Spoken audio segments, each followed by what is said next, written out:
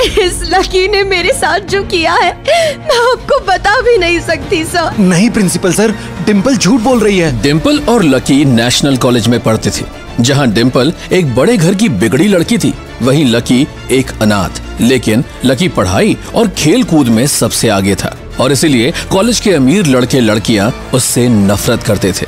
लेकिन जो लकी से सबसे ज़्यादा चिढ़ता था वो था डिम्पल का बॉयफ्रेंड और कॉलेज का सबसे अमीर लड़का। राहुल और फिर एक दिन। अरे सुना तुमने?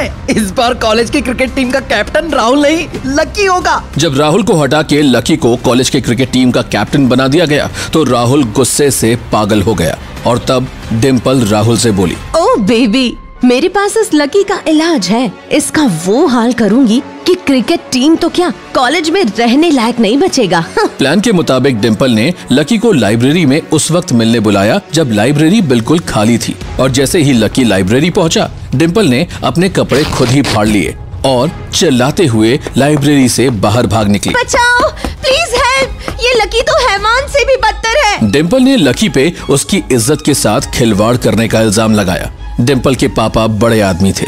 इसलिए लकी के सफ़ाई देने के बाद भी सबने डिम्पल की बात पे ही यकीन किया और प्रिंसिपल बोले डिम्पल बेटा फ़िक्र मत करो अभी इसको पुलिस के हवाले करता हूँ। लेकिन तभी प्रिंसिपल के कमरे का दरवाज़ा खुला और अंदर दाखिल हुआ राहुल। और फिर उसने जो कहा वो सुन डिम्पल के होश उड़ गए। सर ये डिम्पल झूठ बोल रही है।